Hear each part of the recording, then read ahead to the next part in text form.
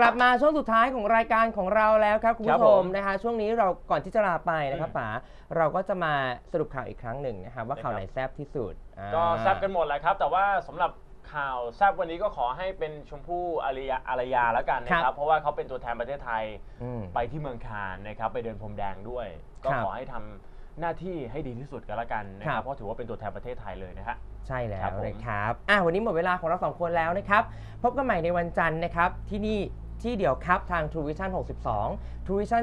358 นะครับ แล้วก็ PSI 2 TV PSI OK